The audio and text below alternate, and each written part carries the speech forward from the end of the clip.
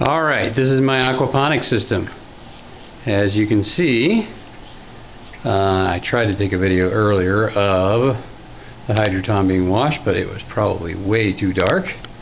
Um, let's see, oh, I got some little uh, hydroton in my little thing that's going to pump water into the uh, growing bed there. This is my, actually, my bell siphon that I used uh, from the uh, system that I put together last year. Uh, I just didn't want to have to recreate the wheel there. Uh, but uh, down here, as you might notice, there's a pump. There's a hose filling up the water. It looks like we're about a quarter of the way full here. Uh, so that's pretty exciting.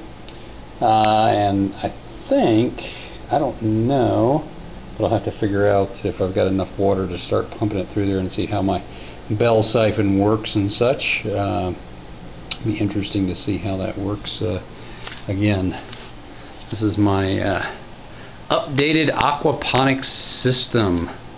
Uh, it is an IBC tote that I cut the uh, top half off of, flipped it around, put the uh, bottom on the top and the top on the bottom, uh, and just put the uh, growing media in there. Uh, so, but anyways, here's the whole thing. This is actually in the front of the uh, gold store that I work in. Uh, and I'll just try and get pictures of all the way around here. Nothing really too exciting here, but whoa. Uh, but it is pretty exciting actually because the water's filling up and I'll be able to test the uh, siphon and so forth and I think that'll be pretty cool.